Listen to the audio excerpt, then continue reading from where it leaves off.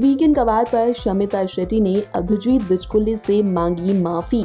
अभिजीत के सामने शमिता ने जोड़े हाथ। जी हाँ तो क्या है पूरी खबर? चलिए हम आपको बताते हैं इस वीडियो में।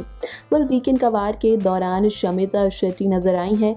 अभिजीत बिचकुले से माफ़ी मांगते हुए जिस दौरान उन्होंने जोड़े हैं अभिजीत के सामने अपने हाथ। जी हाँ दरअसल वीकेंड का वार पर शमिता शेट्टी और अभिजीत बिचकुले के बीच में काफ़ी बड़ा झगड़ा हुआ था। दरअसल घर में अभिजीत की भाषा को लेकर काफ़ी बड़ा मुद्दा बना था, जहाँ शमिता और रश्मि इसके बारे में सलमान से शिकायत करते हुए नज़र आए थे।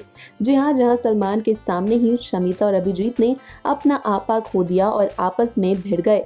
जिसके बाद अभिजीत बिचकुली की तबीयत काफ़ी ज़्यादा खराब हो गई थी और उनका बीपी भी काफ़ी ज़्यादा बढ़ गया था। जी हाँ जिसके बाद वो अपने बेड पर लेट गए और वीकेंड कवार के टास्क के दौरान भी उन्होंने हिस्सा नहीं लिया। जहाँ अभिजीत की हालत खराब होते देख शमिता शेट्टी ने अभिजीत से माफ़ी मांगी और कहा कि वो नहीं चाहती कि उनकी वजह से अभिजीत की तबीयत खराब हो, इसीलिए वो अपनी तरफ़ से उनसे माफ़ी मांगती हैं।